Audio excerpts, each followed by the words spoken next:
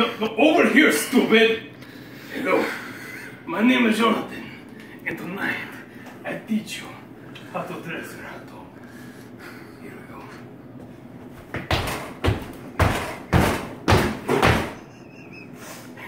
and that is how you dress a. Have a good night.